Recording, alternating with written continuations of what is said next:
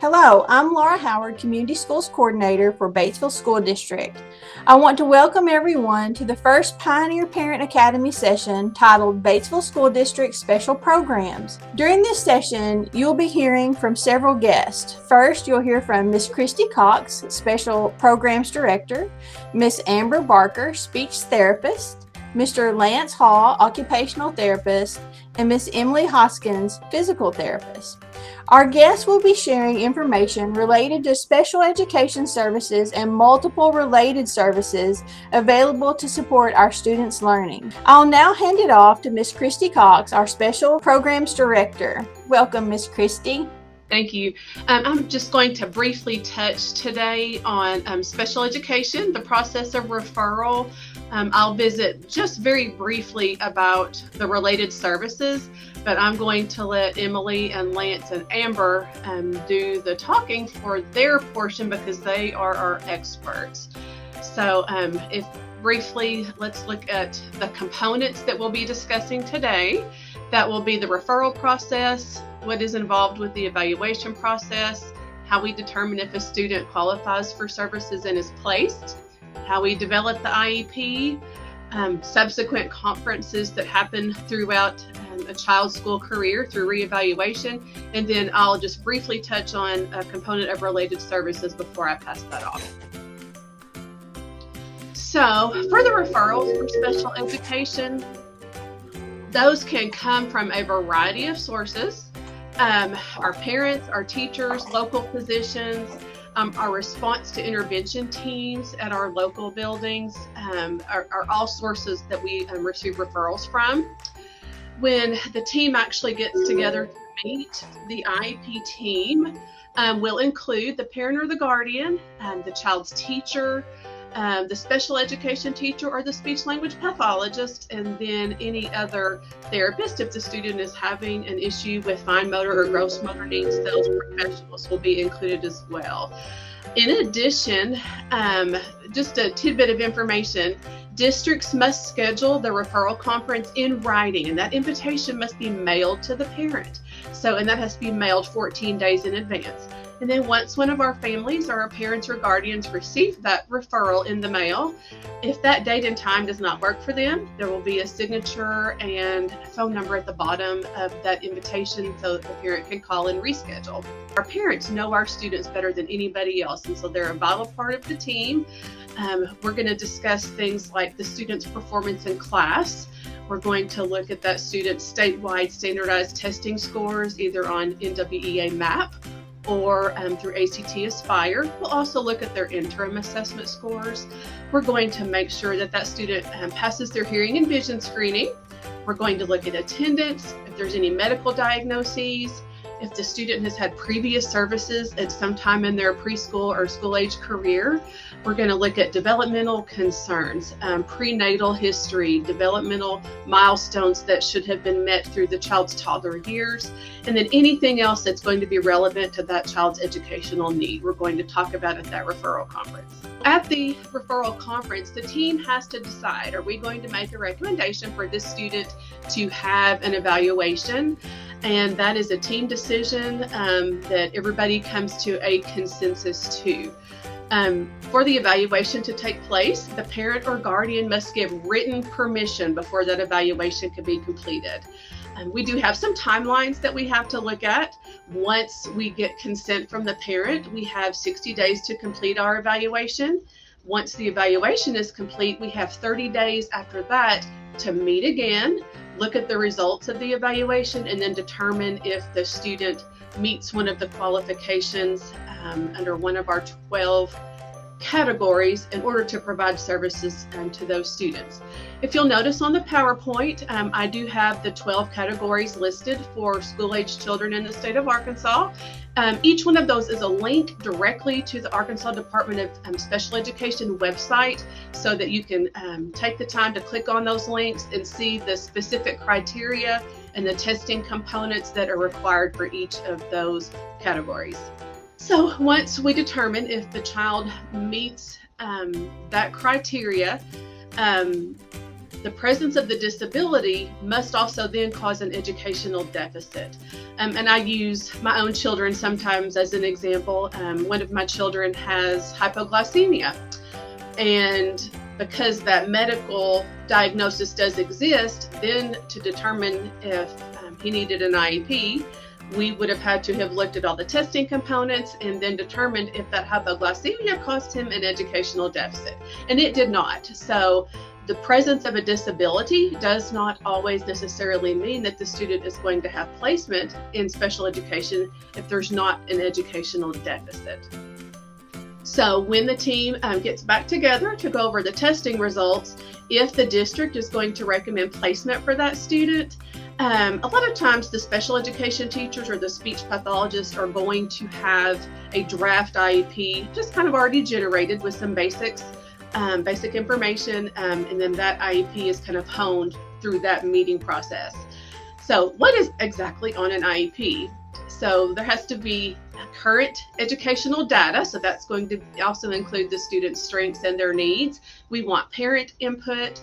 We need to discuss things like does the student need assistive technology or braille or educational interpreting or a behavior plan? Um, we're going to develop annual goals we're going to assign classroom accommodations if the student needs those. We're going to assign testing accommodations if the student needs those. We're going to look at their schedule throughout the day, how much time they might need resource English or resource math.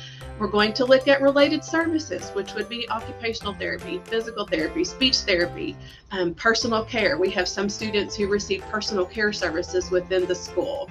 And then at the very end, we're going to determine, um, we will typically call it the LRE. LRE stands for least restrictive environment. And that is how much time the student spends with their peers outside of special education. And we always want that to be the maximum extent possible that our students are with their um, peers in that regular education setting. Um, throughout a student's career, they will have a reevaluation process. Reevaluation conferences must occur every three years or more often as needed. New testing does not have to be completed every three years, but the IEP team is required to sit and discuss do we need more testing data?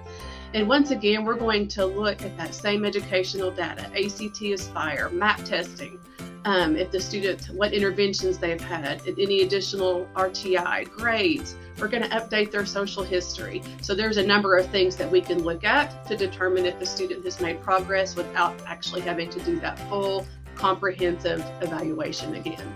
Some other conferences that we have um, during a child's lifetime. We might have a transfer conference. That happens when a student comes from another district and already has an IEP in place.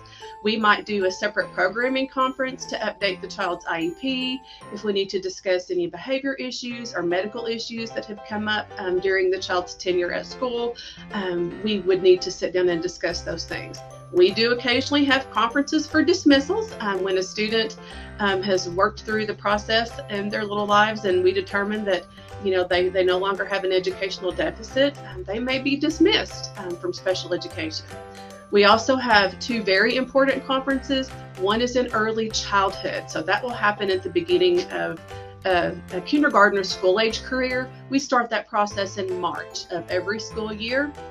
Then we like to look at post-secondary transition, and that occurs with a student um, on or before the age of 16. And that just helps us prepare for what that student's going to do when um, they graduate from Batesville High School. Very briefly, um, related services. Um, today we're going to touch on occupational therapy, physical therapy, and speech therapy. And I'm going to give, um, before I hand it off, just give a little bit of a brief overview. One of the questions that we receive frequently through our department is, why did my child receive speech therapy five days a week at a private outpatient clinic, but we might only be recommending 60 minutes of speech therapy at school? And so we, we need to look at the differences in what we call the educational model and the medical model of services um, for speech therapy, occupational therapy, or physical therapy that's going to um, happen at school, we typically will take those referrals from parents, from teachers, or maybe even the IEP team. For a student that has a medical necessity, that's almost always going to come from their primary care physician. For eligibility for services, that is typically tied to the adverse effect on the educational performance. Whereas in the medical model, eligibility is going to be based on clinical assessment and observation. Um, for educational model, services are delivered through the IEP, which is the Individualized Education Program, and we're going to do those services at school. Whereas in a medical model, the services are provided in an outpatient therapy setting under what um, they would call a plan of care or a treatment plan. For the educational model of services, this is at no cost to the parent. If the student um, qualifies for those services, and they need services to access what they're doing in special education, we're going to provide those services. Um, in the medical model, the ultimate responsibility of cost is actually going to be through the parent, maybe through copays, um, and then also Medicaid and private insurance um, will kick in um, with the out-of-pocket cost coming from the parent. Um, through the school district, um, for the educational model, um, when the parents give us permission to, we will bill Medicaid um, or we will be bill private insurance. But ultimately, if the student qualifies for the service, then we are going to provide that through the individualized education plan. So that's just my brief overview of special education and related services. So I'm going to hand back off to Ms. Laura Howard to introduce our next speaker. Hi, I'm Amber Barker, and I'm one of the four speech pathologists in the Batesville School District.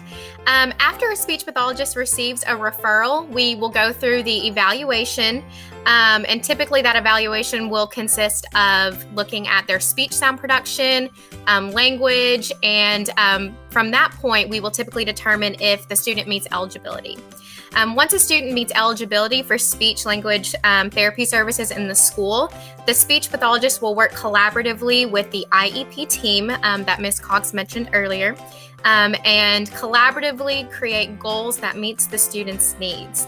Um, a student's needs in the school um, in regards to speech and language therapy could involve several different factors um, that we have listed here on the screen. Um, that could be speech sound errors, what we typically call articulation delays. Um, we also will target expressive and receptive language. Um, expressive language is what a student is able to verbally express, um, and receptive is how they understand and process language internally. Um, that could look like answering questions in a classroom or labeling or um, defining vocabulary in the classroom. Um, we also work on social communication. Um, so, those are identifying social cues in the classroom, how they're able to communicate with peers, um, appropriateness of language use. Um, we also work on several different um, aspects of cognition. That could look like working memory, um, using information in the classroom in real time, processing and being able to express. Um, we also work on fluency and stuttering, voice, so any hoarseness, raspness, and then also augmentative and alternative communication. And those are typically for our students who are nonverbal or who have some severe speech sound delays, and it allows them to have a different mode of communication, whether that is high tech, such as a talker, or low tech, which could be a picture exchange system. So, for the effect on their educational performance, we typically will provide services either direct, that's where we pull them into the therapy room in either an individual session or a group session. Um, it could be indirect services where we do check ins or on consult basis. Our job as a speech pathologist in the school is to allow students to express their thoughts and ideas, articulate more clearly, and allow them to effectively communicate in the school setting. Thank you for that wonderful information. Um, next up, we have Mr. Lance Hall, occupational therapist for our district. Good morning. How are y'all? Um, so, yes, I'm the occupational therapist within the Batesville School District. I work alongside the uh, rest of the IEP team, the other therapists and, and staff. We do have another occupational therapist within school and a certified occupational therapy assistant. And so, what our job is basically is uh, to find out what the kids need to do, what they have to do, and what they want to do. And like Miss Kristi said earlier, our focus is on academics within the school environment. It may also involve things like uh, simple things like dressing, writing, preferential seating within the classroom. It may involve some some sensory processing that kids have difficulty with. So that's the thing that we look at within the school setting. We do uh, standardized assessments to look at their deficiencies, look at visual motor and fine motor to see, make sure they can um, just see what tools they have within the writing process the way they hold their pencil, the way they stabilize while they're writing, posture while they're writing. If writing is not a means of doing their work, then we look at keyboarding. We look at several ways that kids are able to express their work through academics. And then we also look at other things they may be struggling with as well. One thing that um, we get a lot of referrals for is, is sensory. And just the kids, we want to make sure they're not struggling uh, within the classroom or find out what issues they're actually having for them to be to perform well. Uh, we look at auditory, visual stimuli, olfactory stimuli, and then other things like proprioceptive and vestibular input of how they move in space and, and how they um, their motor control and everything of, of what they that feedback that they get. So we look at all those things within Sensory and try to accommodate within the classroom with accommodations, uh, modifications, whether it be types of seating or where they sit in the classroom and things like that. So, with that, we just basically, uh, after the meeting, the IEP meeting, we set up a frequency of time. And we have to work around not only their academics within the classroom, but we have to work around their special schedules, their music, their uh, art, their PE, all those classes, and, and recess and lunch. So that's why it's so important to have that least restricted environment where they can participate in that classroom with their peers. And so sometimes we we do pull those kids out during that time that we see them, but sometimes we also do push in if it's not a distraction to the individual student or or the whole class. And we collaborate with teachers as well uh, during the referral process and the and the whole treatment, just to just to gain information. Uh, besides their previous history, we may see how they're doing within the classroom. Morning better? Is afternoon better? Their focus or attention or the behavior and and that sort of thing. So we tend to look at the whole take a holistic approach and look at uh, look at the student physical body and the mind and the environment uh, when we're treating a child. Thank you, Mr. Hall. Such good information. Up next, we have Miss Emily Hoskins, who is our physical therapist for the district. Uh, thank you for joining us, Miss Emily. Thank you for having me. We also have Jenny Lander. She's a physical therapist assistant that helps me with the treatment in the district. As far as physical therapy in the school, it's like OT and speech, it's a related service that are a supportive service that can be used to help a child with a disability benefit from special education. So if the student's educational team decides that a referral is needed for physical therapy and the parent gives consent, we will perform an evaluation. And usually we're looking at their gross motor abilities. So in that we think of strength, range of motion, coordination, muscle tone, posture, balance, endurance, their functional mobility in the in the environment and in their daily activities. We're going to use standardized tests that are age appropriate. Um, observation measurements, we're going to talk to the, the staff, the teachers, the people interact with the student on a daily basis, talk to the parent and figure out what their concerns are and what needs the student has. And then we're going to work with the IEP team to establish goals that are pertinent to that child's education if it determines that physical therapy is needed for them to participate in their educational environment. We're going to coordinate our services with the team members and collaborate and then and document our services. We try to work in the child's least restrictive environment as well, and that may be in the classroom, maybe in PE or on the playground or going to the bus in the hallways, which we try to help the child access their environment where they're having the difficulties but we do sometimes need to pull them into our PT room to target certain things to work on work on their goals. Mm-hmm. We also will assist with obtaining equipment or assistive technology, whether it's orthotics or braces or wheelchairs, walkers, standers, etc., and help with training the staff on how to use that equipment and monitor for adjustments to the equipment that are needed or calling in people specialists that can help us order that equipment then we're going to monitor their process, their progress with annual reviews and evaluations as needed. But the main goal for physical therapy in the school is to help the child access their academic curriculum and participate in other school activities, improve their access to the school environment. Great information. Thank you so much, Emily. All right, Ms. Kristi, we'll be back to you with 504 comparison to IDEA. One of the hats that I wear, in addition to being the special education supervisor, is um, I am also the District 504 coordinator. So, Section 504 operates just a little bit differently with regard to their definition and who uh, might qualify for a 504 plan. Um, children not eligible for special education services may actually qualify for some accommodations through a 504 plan. Just a little comparison between IDEA or special education um, and 504. IDEA stands for Individuals with Disabilities Education Act. Students ages 3 to 21 who have very specific the criteria that I posted earlier in the PowerPoint um, students ages 3 through 21 who meet those criteria um, might qualify for special education. Whereas with 504, the student, the definition would be have a physical or mental impairment that substantially limits a major life activity.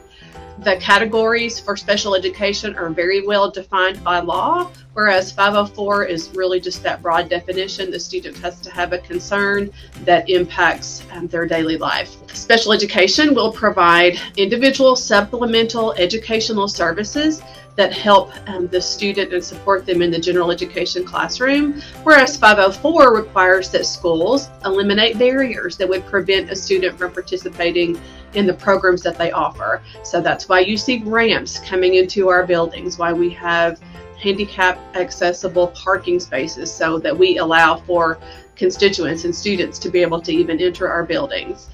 This also for IDEA, there is a requirement through um, federal law that requires that the IEP be reasonably calculated to provide educational benefit to the student. Whereas with 504, that requires a service plan with accommodations that allow students access to the general education curriculum. One thing that I do like to point out is that um, any teacher can accommodate at any point in time in their classroom, whether the student has a special education plan or a 504 plan, teachers can always provide accommodations um, to our students. And the plan does not have to be in place for accommodations to occur in a particular classroom setting. However, if the plan is in place, then that becomes a requirement um, that the teacher must do rather than them doing that on their own. So if there's a signed plan, then that becomes part of that student's educational record and it's their right to be able to have those plans. Thank you so much for our guest today. And this concludes our first Pioneer Parent Academy session titled Batesville School District Special Programs. And again, if you'd like to request additional information, please contact Miss Kristi Cox. And you'll see her contact information here on the final slide of the presentation.